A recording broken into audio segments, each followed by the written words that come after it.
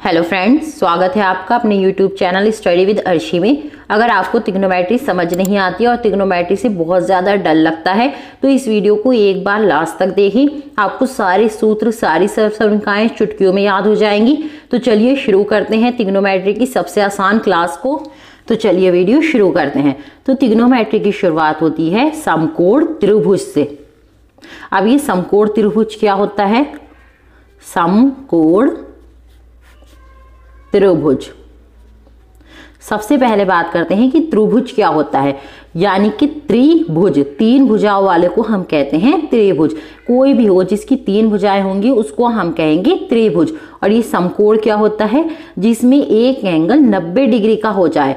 जैसे ये angle 90 degree का है तो ये बन जाएगा समकोण त्रिभुज। तो तिग्नोमेट्री की शुरुआत यहीं से होती है।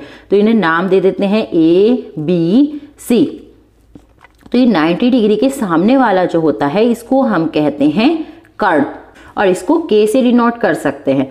अब इसमें से एक एंगल होता है थीटा का। अब ये थीटा एंगल ये वाला भी हो सकता है, ये वाला भी हो सकता है। अगर एंगल थीटा ये है तो इसके सामने वाला हो जाएगा लंब, और इसको शॉर्ट में कह सकते हैं हम एल और जो बचा उसको हम कह देंगे आधार, और इसको हम शॉर्ट में कहेंगे ए अब अगर ये समकोण त्रिभुज ऐसे बना हो। ये वाला एंगल हमारा थीटा हो, ये 90 हो तो हमारा लंब क्या हो जाएगा? ये हो जाएगा हमारा लंब और ये हो जाएगा हमारा आधार और ये 90 के सामने वाला हो जाएगा हमारा कर्ण तो बेसिकली थीटा के सामने वाला लंब होता है और जो बचता है वो आधार होता है। अब ये थीटा कोई सा भी एंगल हो सकता है। अब यहाँ एंट्री होती है पाइथागोरस जी की। तो पाइथागोरस जी ने क्या किया? पाइथागोरस इन्होंने एक फॉर्मूला निकाला। इन्होंने कहा कि अगर हमें आधार और लंब पता हो तो हम कर्ण निकाल सकते हैं। यानी कि अगर हम तीनों में से कोई भी दो पता हो तो हम तीसरा निकाल सकते हैं। उसके लिए इन्होंने एक फॉर्मूला दिया। क्या कहा इन्होंने? कि भाई कर्ण का स्क्वायर करोगे तो वो आधार का स्क्वायर प्लस लंब के स्क्वायर के बराबर हो जाएगा।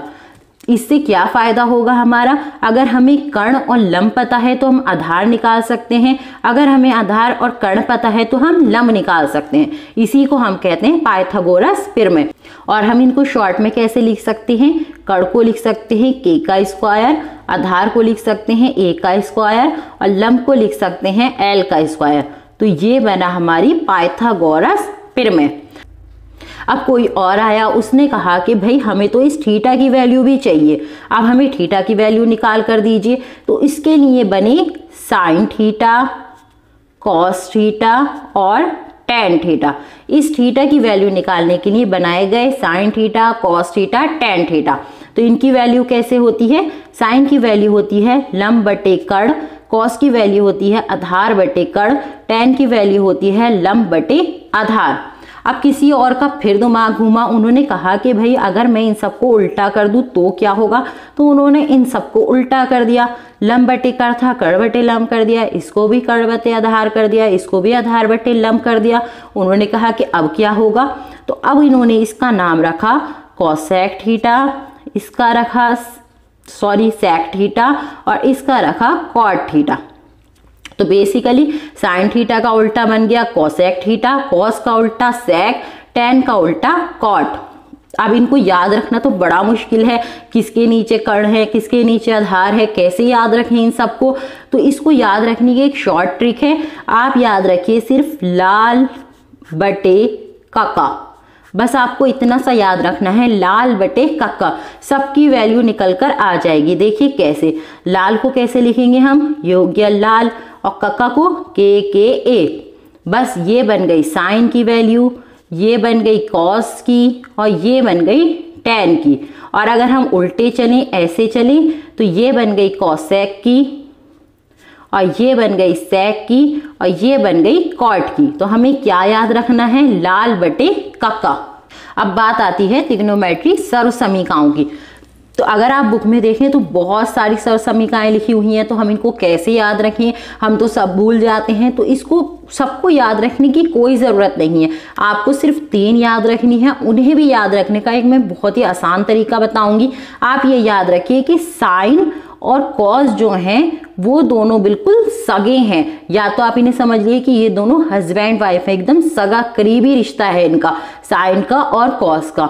और सेक का और टेन का। और कॉसेक और कॉट का। इन दोनों का जो रिश्ता है आपस में, वो बहुत ही सगा वाला है। तो इनका जो स्क्वायर करते हैं, हम यहाँ प्लस लगाते हैं तो ये वन बनता है। मतलब इन दोनों को जोड़ने पर एक मिल रहा है। ये दोनों बड़े सगे हैं। ऐसे ही ये दोनों बहुत सगे हैं। इनको माइनस करने पे वन मिल रहा है। ऐसे ही ये दोनों सगे हैं। इनको माइनस करने पे वन मिल रहा है।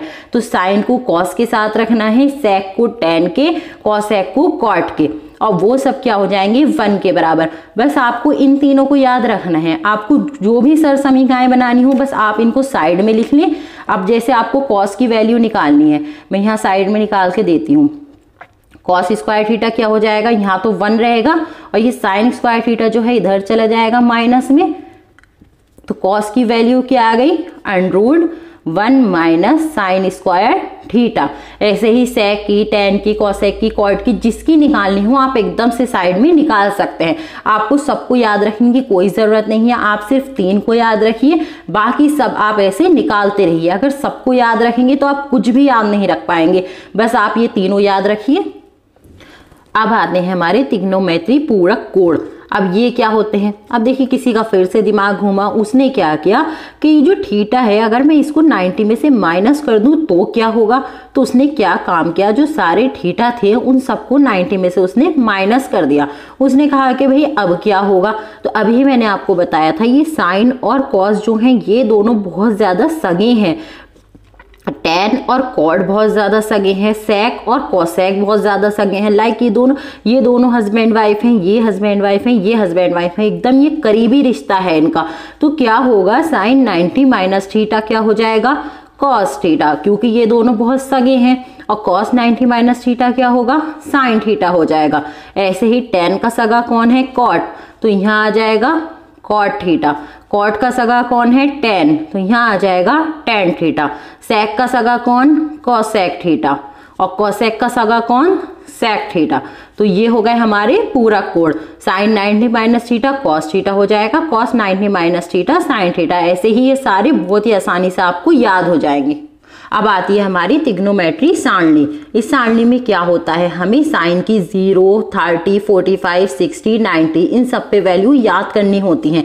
ऐसे ही sine, cos, tan, cot, sec, cosec, सबकी वैल्यू इन एंगल पर हमें याद रखनी होती है, जो कि बहुत ज़्यादा हैक्टिक काम होता है। तो आपको एक लाइन तो याद करनी ही पड़ेगी। बहुत सारी वीडियोज़ में बताते हैं कि इस लाइन को भी आप ट्रिक से याद कर सकते हो, यानी कि साइन की वैल्यूज़ को भी आप ट्रिक से याद रख सकते हो। लेकिन वो और ज़्यादा हैक्टिक हो जाता है। अगर आप साइन की वैल्यूज़ याद रख लेते हो तो पूरी सारणी बनाना आपके लिए आसान रहता है। और इस साइन की वैल्यूज़ को कैसे याद रखें? तो मैंने यहाँ एक लाइन लिखी है। इस लाइन को आप गाते गाते याद कर, रख सकते हो। इसको बहुत ही आसान है याद रखना। देखिए, मेरे साथ पढ़िए। ज़ीरो आधा, आधे पे रूट अंड रूट थ्री बटे दो और एक। बस ये लाइन आपको याद रखनी है। तो देखिए, भरते हैं इसको। ज़ीरो आधा, आधे पे रूट अंडरूट थ्री बटे दो और एक। बस, पहली लाइन हमारी भरी गई। अब हमें दूसरी भरनी है। तो मैंने बताया था साइन का और कॉस का बहुत गहरा रिश्ता है। तो ये बस एक दूसरे के उल्टे होते हैं। हमने यहाँ से ज़ीरो से भरा है। इसमें हम भरेंगे यहाँ वन से। पहले हम भरेंगे वन फिर भरेंगे हम। अनरूट थ्री बटे दो, फिर भरेंगे one upon under root two फिर वन बाई टू और फिर ज़ीरो। मैंने बताया था ना, ये साइन और कॉस जो है वो हस्बैंड वाइफ है। जैसे हस्बैंड वाइफ एक दूसरे से उल्टे चलते हैं, ऐसे ही ये दोनों भी एक दूसरे से उल्टे चलते हैं। ये चल रहा है ज़ीरो से, लेकिन कॉस कह रहा है मैं तो चलूँगा वन से। जैसे कि नॉर्मल हस्बैंड वाइफ में होता है, ऐसे ही ये साइन चल रहा है ज़ीरो से तो कॉस चलेगा वन से। तो हमारी कॉस की वैल्यू भी भरी गई। और ये जो टेन होता है tan theta is equals to होता है sine theta upon cos theta. ये भी आपको याद रखना पड़ेगा। तो यहाँ से हम साइन और कॉस की वैल्यूज़ को डिवाइड करते जाएँगे तो हमारे पास टेन की वैल्यू आ जाएगी।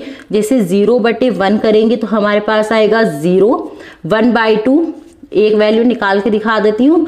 One by two upon under root three by two इन दोनों को मैंने डिवाइड किया। ज़ीरो से ज़ीरो गया। क्या बचा? वन अपॉन अंडरूट थ्री तो यहाँ आ जाएगा one upon under root three इन दोनों को एक दूसरे से भाग करेंगे तो आएगा एक, क्योंकि ये भी one upon under root two है, ये भी one upon under root two है तो दोनों एक दूसरे को काट देंगे।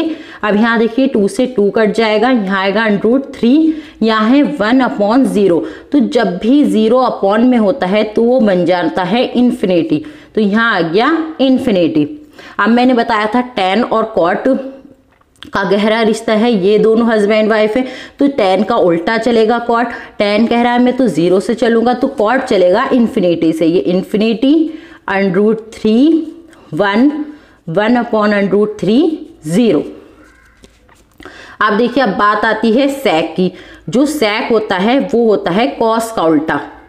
सैक इज़ इक्वस टू होता है वन अपॉन कॉस थीटा तो कॉस की वैल्यू को उल्टा कर देंगे तो हमारे पास आ जाएँगी सेक की वैल्यू तो कॉस की वैल्यू है वन वन का उल्टा तो वन रहेगा. इसका उल्टा कर देते हैं टू अपॉन अंडरूट थ्री हो जाएगा. इसका उल्टा करते हैं अंडरूट टू हो जाएगा. इसका उल्टा करते हैं टू इसका उल्टा करेंगे इन्फिनेटी अभी जो कॉसैक है, वो सौ सैक का सगा होता है. तो ये इससे उल्टा चलेगा. मैंने बताया था ये दोनों हस्बैंड वाइफ है तो ये चलेगा infinity two under root two two upon under root three और ये वन। लो, बन गई हमारी तिग्नोमेट्री सारणी अगर आपको वीडियो अच्छा लगा हो तो वीडियो को एक लाइक करके चैनल को सब्सक्राइब कर ले, क्योंकि यहाँ ऐसी इंपॉर्टेंट इंपॉर्टेंट वीडियोस मिलती रहती हैं।